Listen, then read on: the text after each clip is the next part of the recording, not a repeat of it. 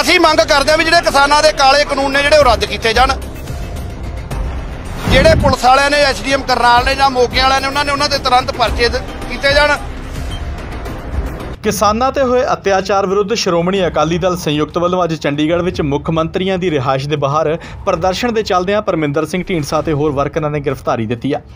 ਇਸ ਮੌਕੇ ਵੱਡੀ ਗਿਣਤੀ ਵਿੱਚ ਅਕਾਲੀ ਦਲ ਸੰਯੁਕਤ ਦੇ ਵਰਕਰ ਗ੍ਰਿਫਤਾਰ ਹੋਏ। ਅਕਾਲੀ ਦਲ ਸੰਯੁਕਤ ਦੇ ਆਗੂ ਪਰਮਿੰਦਰ ਸਿੰਘ ਢੀਂਡਸਾ ਨੇ ਕਿਹਾ ਹੈ ਕਿ ਅਸੀਂ ਮੁੱਖ ਮੰਤਰੀਆਂ ਦੀ ਰਿਹਾਇਸ਼ਾਂ ਦੇ ਬਾਹਰ ਸ਼ਾਂਤਮਈ ਪ੍ਰਦਰਸ਼ਨ ਕਰਨ ਆਏ ਸੀ, ਪਰ ਸਰਕਾਰ ਨੇ ਸਾਡੇ ਉੱਤੇ ਪਾਣੀ ਦੀਆਂ ਬੁਛਾੜਾਂ ਮਾਰੀਆਂ ਅਤੇ ਕਈ ਵਰਕਰਾਂ ਤੇ ਲਾਠੀ ਚਾਰਜ ਕੀਤਾ, ਜਿਸ ਵਿੱਚ ਕਈ ਆਗੂ ਜ਼ਖਮੀ ਵੀ ਹੋਏ ਨੇ।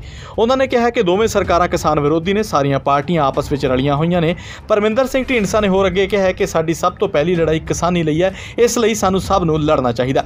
ਉਧਰ ਵਰਕਰਾਂ ਨੇ ਕਿਹਾ ਹੈ ਕਿ ਪ੍ਰਸ਼ਾਸਨ ਇੱਕ ਦੀ ਬਜਾਏ ਭਾਵੇਂ ਹੋਰ ਬੱਸਾਂ ਲੈ ਆਵੇ ਅਸੀਂ ਉਹ ਵੀ ਭਰ ਦਿਆਂਗੇ। ਸਰਕਾਰ ਦਾ ਸ਼ਲਾ ਸ਼ਾਮ ਧੱਕਾ ਹੈ।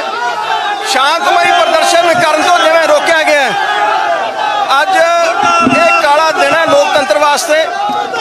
ਅਸੀਂ ਕੇਂਦਰ ਸਰਕਾਰ, ਪੰਜਾਬ ਸਰਕਾਰ ਤੇ ਜੋ ਹਰਿਆਣਾ ਸਰਕਾਰ ਹੈ, ਇਹਨਾਂ ਦੇ ਖਿਲਾਫ ਸਾਡੀ ਲੜਾਈ ਜਾਰੀ ਰਹੇਗੀ।